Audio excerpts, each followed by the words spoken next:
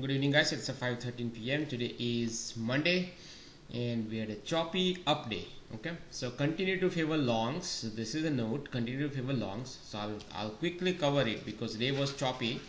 So there was nothing else to talk about except knowing that buyers are in control.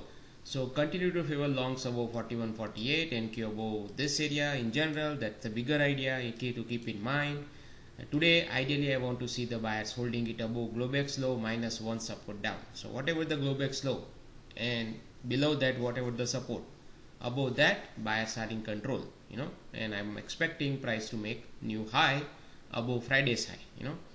Uh, and preferred buyers area is also important. And these are the dream numbers 852 874 very powerful for NQ right?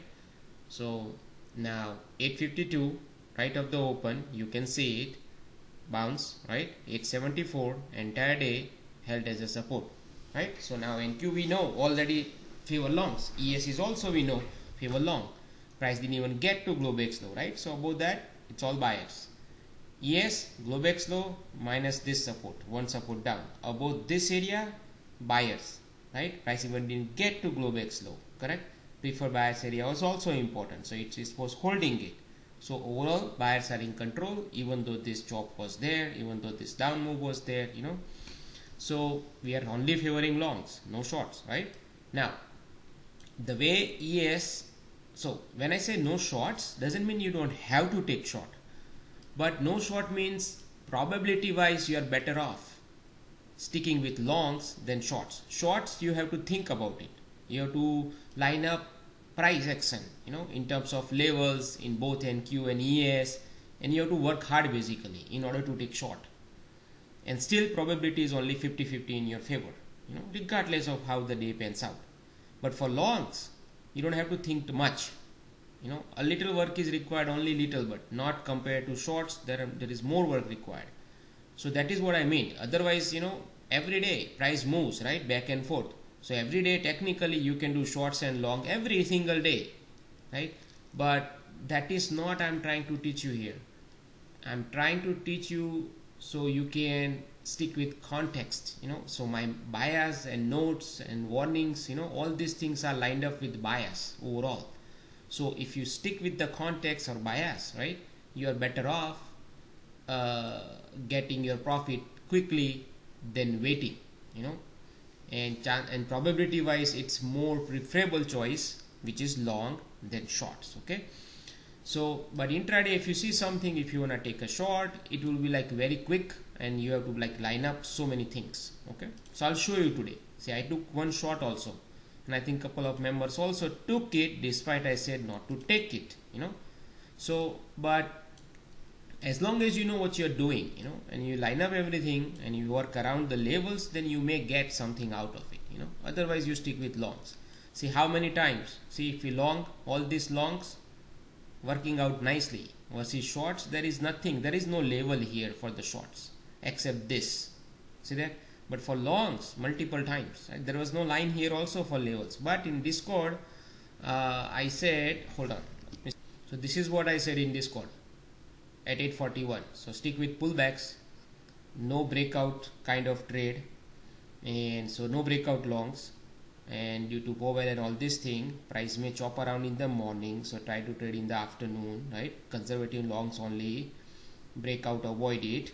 Risky to trade right? And then I said at 922 I said 90 98 86 01 06 10 areas to look for long evaluate only after the price goes above kind of breakout then pull back there. So if the price goes above 06 breaks out nicely pulls back there you go long.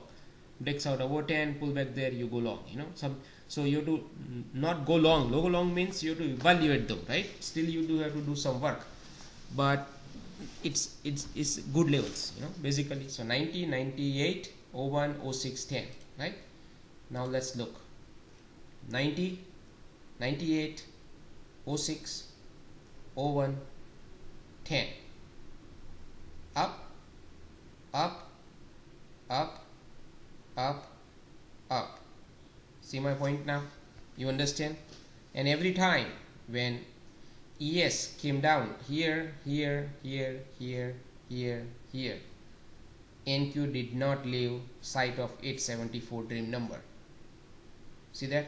So NQ clearly knew that NQ is holding 874 now despite ES wherever is going. ES was also holding just support. It was just rotating between support back and forth right?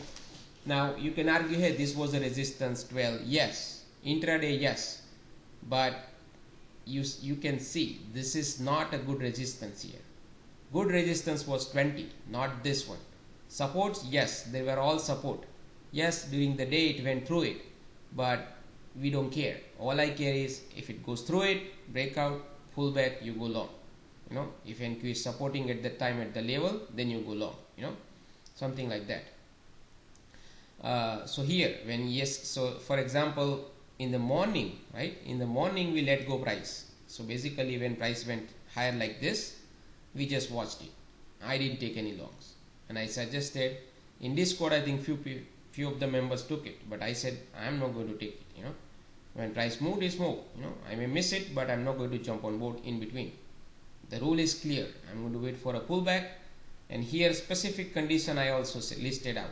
So when price was here uh, right here you know I said if price pulls back now from 13 to here that's a good lo long location right here 06 area.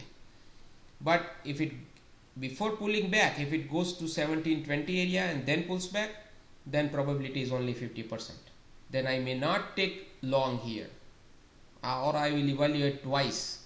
That is the wording I have used you know. So NQ I also gave a guideline. I said between this around 943 or between this somewhere here you know. It may come down and if it comes down hard it will go straight to 874 which is it did here. See that? Came straight down to 874 so and yes it didn't pull back did not pull back from here but instead it went there and then coming down. So now I have to evaluate twice before taking longs.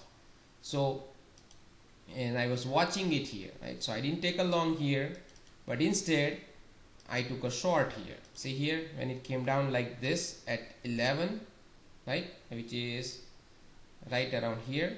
See that? Top of this area pretty much here which is this right so here if buyers were really legit here it will immediately went goes up like this back here. But instead you can see it. It went back up to here and then coming down correct? So like this right? So at this point it was so here in NQ see NQ moves you know fast.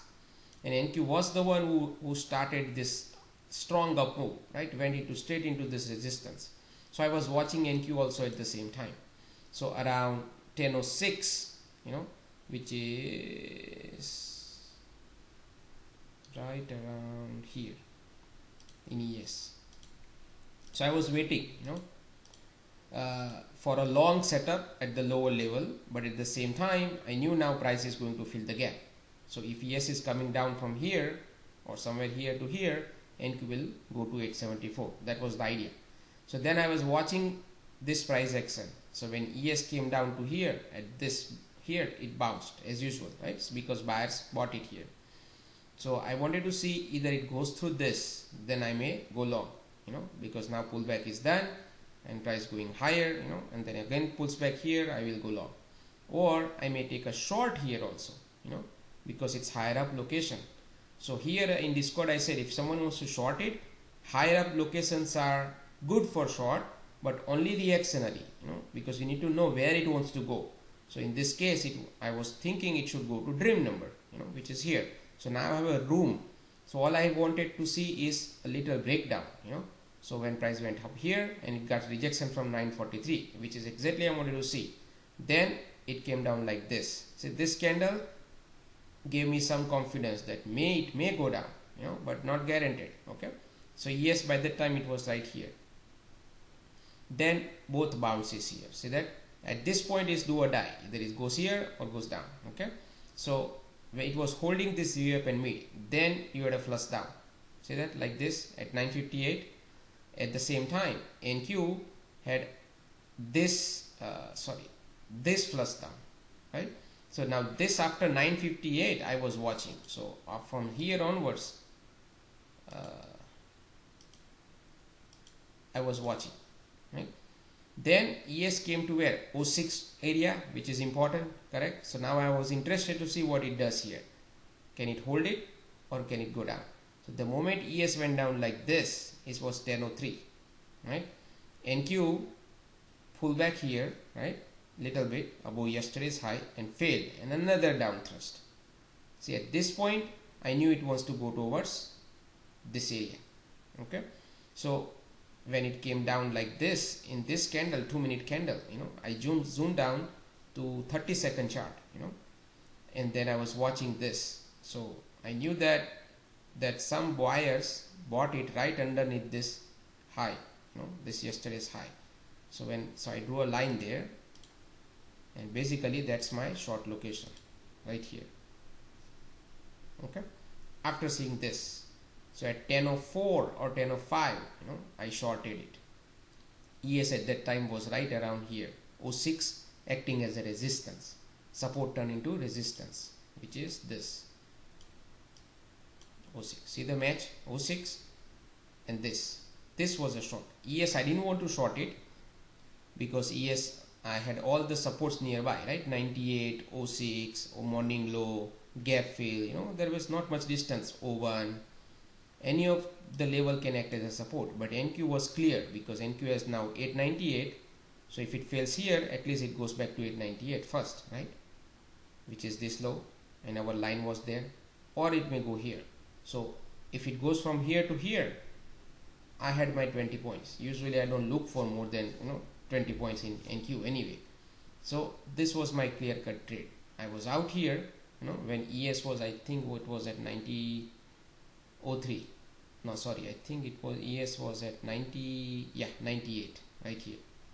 Yeah, so 98 was a support right? So I built up.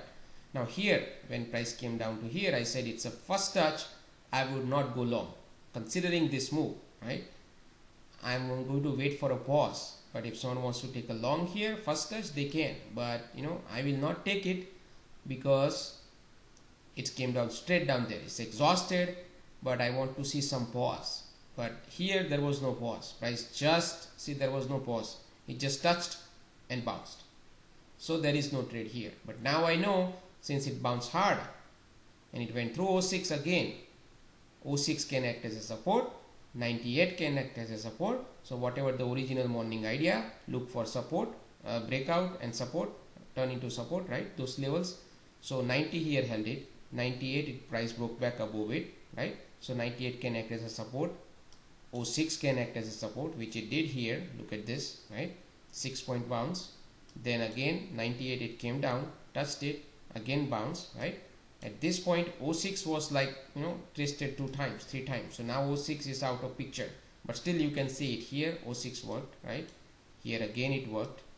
Then here is a pullback to 01 and it worked. And then here is it, it just turned 10 into support. See that?